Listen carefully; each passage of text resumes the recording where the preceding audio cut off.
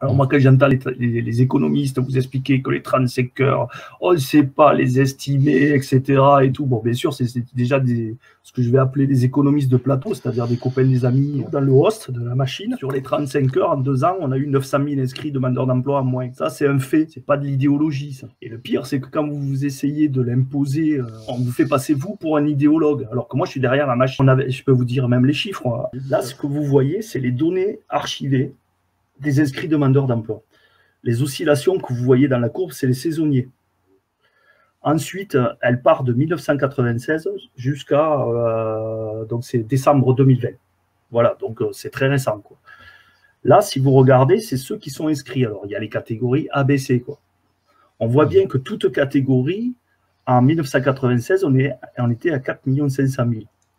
Et tout d'un coup, on va perdre 900 000, ce que vous voyez sur deux ans, à peu près et c'est les 35 heures.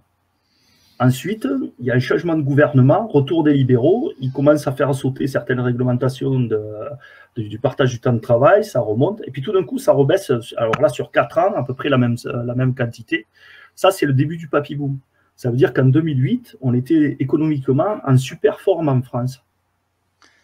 Mais comme il y avait toutes les patates chaudes des, des gens de la bourse qui avaient fait n'importe quoi aux États-Unis pour gagner des milliards, etc. et tout, à part leur trafic d'influence, déjà, ils ont fait racheter, ça les gens ne le savent pas, mais euh, dans les régimes de protection sociale, des, les patates chaudes pour que ce soit nous qui l'encaissions et pas eux. Et là, euh, quand ça remonte, là, on voit qu'on a pris 3 millions d'inscrits en plus en 10 ans.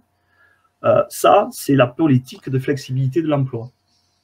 Alors pourquoi je vous parle de, de, cette montée de 3 millions? Parce que cette montée de 3 millions, derrière, ça a aussi des impacts budgétaires. C'est-à-dire que ça nous a doublé le budget d'indemnisation. C'est-à-dire qu'avant, euh, la politique de flexibilisation, elle est prise en charge par l'assurance des salariés. Ce sont les salariés avec leurs cotisations qui financent la flexibilisation des salariés des employeurs. Et ça nous a multiplié par deux le budget des dépenses. Et là, vous allez voir quelque chose de très, très surprenant. Là, vous voyez qu'on a toujours à peu près un million de, de demandeurs d'emploi enfin 800 000, 1 million de, de, plus de 45 ans. Et mhm. depuis 2008, on est passé à 2 millions, on va dire à peu près 400 000 inscrits demandeurs d'emploi. Tout le blabla qui nous faut sur les jeunes, c'est pour justifier de remplacer les plus de 45 ans par des jeunes. C'est-à-dire en plus, ils se font financer de virer les gros salaires. Or, les gros salaires, c'est ceux qui cotisent le plus à la protection sociale, pour les remplacer par des précaires.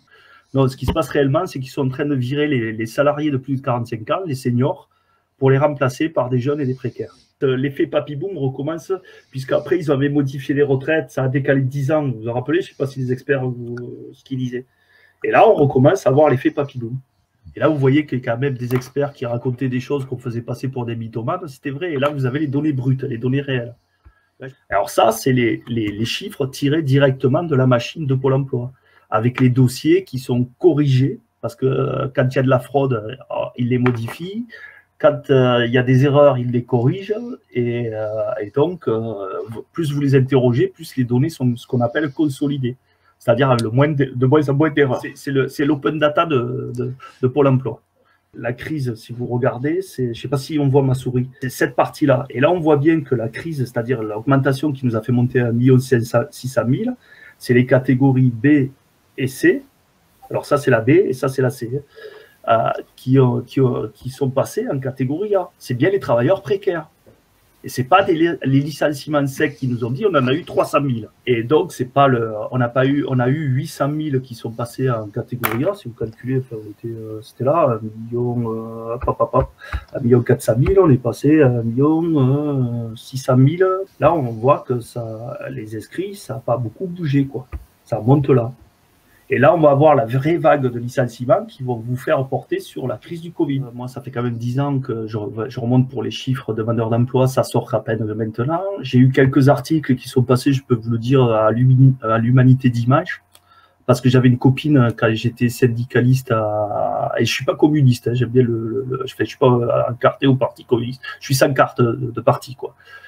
Et, euh, et j'avais une copine journaliste que j'ai rencontrée à la CGT, Et c'est avec elle que j'ai un peu dénoncé ça. Ils ont fait un article, mais ils ne pouvaient pas envoyer parce qu'ils avaient la pression même de leur, de leur rédaction, parce qu'il euh, faut comprendre qu'on a une peur de la, répression, de la répression judiciaire.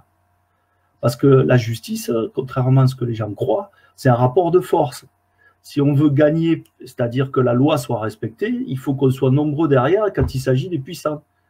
Parce que si on n'est pas nombreux derrière, eh vous le voyez avec le mouvement des Gilets jaunes, où les gens sont condamnés pour des histoires bateaux, et bien plus, euh, ça y va, quoi. Les mecs, ils font de la prison ferme. Et, c'est ça qui, euh, qui est dur, parce que quand on est. Euh, moi, je, je sais qu'on ne pourra pas gagner si on ne passe pas par des structures et par un rapport de force.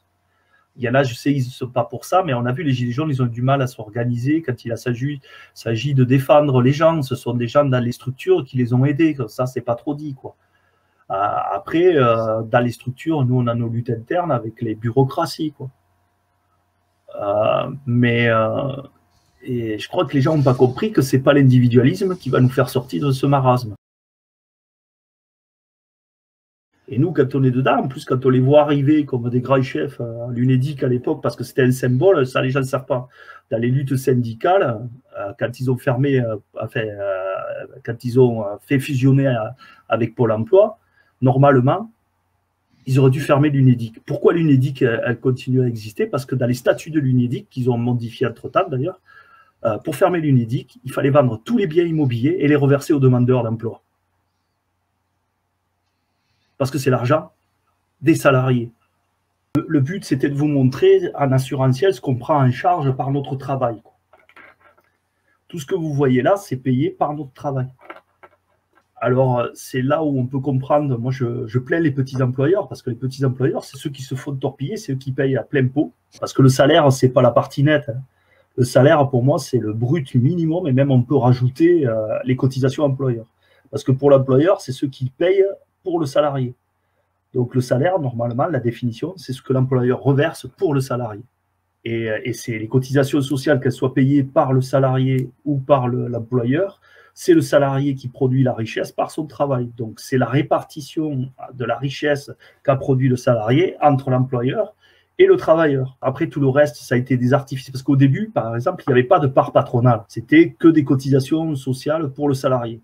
C'est très vite qu'ils ont commencé à mettre ça parce que ça permet de faire croire que c'est l'employeur qui paye, alors que c'est l'employeur qui reverse la part de la richesse créée par le salarié. Et ça leur permet maintenant, quand dans les allègements de cotisation, c'est au niveau employeur. Donc, ils nous enlèvent notre cotisation euh, qui était sur la fiche de paye comme étant nous qui payons, alors que c'est pareil, que ce soit l'employeur ou nous, c'est la même chose. Ce qu'il y a, c'est que ça leur permet après, surtout pour les grands groupes, de ne pas les payer. Les petits, eux, ils, ont pas, ils sont compressés, ils sont pris en étau entre, on va dire, les, parce que les petits patrons, souvent, ils travaillent pour des grandes boîtes on va dire, on n'est plus dans une entreprise de production et les productions qui restent en France, pour l'essentiel, c'est des grosses. C'est souvent des, sous-traitants. Euh, par exemple, on peut prendre le cas d'Airbus. Airbus, qu'est-ce qui se passe? C'est que c'est la sous-traitance, c'est les petits employeurs. Euh, on leur fait baisser de plus en plus euh, les budgets sur des appels de marché, mais le salarié, ça coûte, on va dire, la, même somme pour la même quantité de travail. Et donc, euh, pour euh, qu'ils gagnent encore plus, les employeurs, ils augmentent la quantité de travail. C'est le principe marxiste, c'est-à-dire qu'on fait son travail, euh, alors c'est estimé, je crois, à 4 heures par jour pour rembourser ce qu'on coûte à l'employeur. Donc, ça, c'était il y a, je crois, 20 ans. Maintenant, c'est 3 heures, c'est de 2h30 à 3 heures pour rembourser l'employeur pour ce qu'on lui coûte. cotisation comprise. Et ce qui euh, coûte de plus en plus, c'est qu'on ne dit jamais que c'est un coût, c'est le reversement de l'actionnariat. L'actionnariat, c'était, je crois, 10 ou 20 il y a, au début de, à l'après-guerre. Maintenant, certaines boîtes, ça atteint les 60% quand c'est pas plus. Quoi. Et ça, c'est un impôt privé. Quand c'est un impôt d'État, ça choque tout le monde, alors que l'État, c'est les citoyens qui en profitent. Euh, quand c'est un impôt privé, ça choque personne. Si je vous prenez Capgemini, par exemple, parce que c'est le bon exemple, Capgemini ne paye pas d'impôt. Ils ont les, aides du 6, du, par, c'est 300 millions d'euros, je crois, par an. Et il faut un milliard de bénéfices. Et ils licencient. Mais les petits, non. Eux, ils sont saignés. Nous, par exemple, ce que je peux vous raconter, c'est la chasse aux sorcières pour euh, augmenter les budgets de prélèvement, c'est-à-dire euh, le reversement des employeurs. C'est les petits qu'on harcèle, jamais les gros. on va, on va le dire honnêtement, nous, quand on réfléchit à la part brute, ça nous appartient. On va dire, nous, on reverse 50% de nos revenus pour les faire fonctionner tout ça. Euh, et même quand on paye des impôts, on peut rajouter les 20% de TVA hein, sur ce qu'on achète. Et les employeurs, eux, ça peut monter jusqu'à 60% quand on fait la globalité de, tout ça.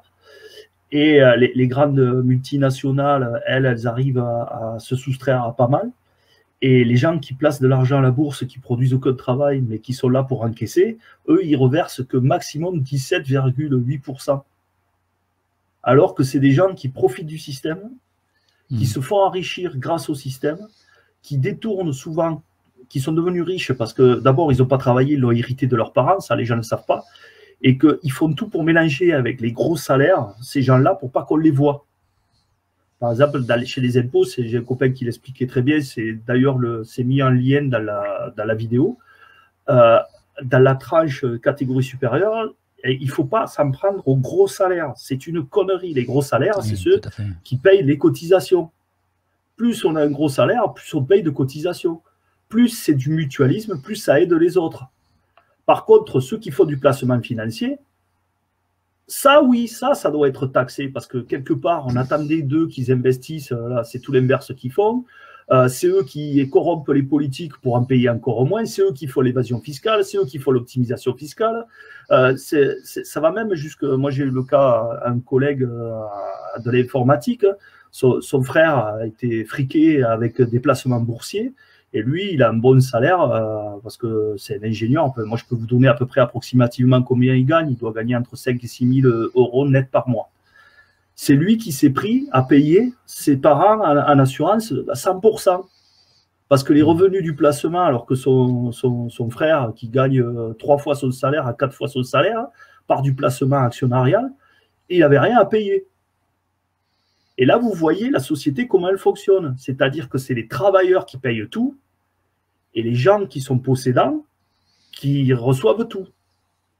Et on va vous traiter de feignants, ceux qui essayent de survivre par le travail. Quoi. Euh, quand ils ont euh, fait fusionner euh, avec Pôle emploi, normalement, ils auraient dû fermer l'UNEDIC. Pourquoi l'UNEDIC elle continue à exister? Parce que dans les statuts de l'UNEDIC, qu'ils ont modifiés entre-temps d'ailleurs, pour fermer l'UNEDIC, il fallait vendre tous les biens immobiliers et les reverser aux demandeurs d'emploi parce que c'est l'argent des salariés. Et c'est pour vous montrer la difficulté, là vous m'entendez, mais ça fait dix ans que, pas que moi, hein, on est plusieurs, hein, je suis dans un syndicat, on gueule et on ne nous entend jamais.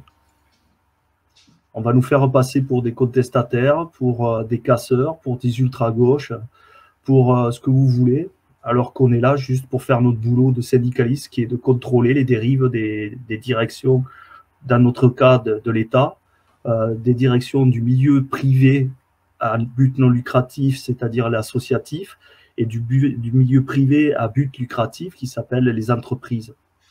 Voilà, j'ai fini. Et merci à tous d'avoir été patients de m'écouter.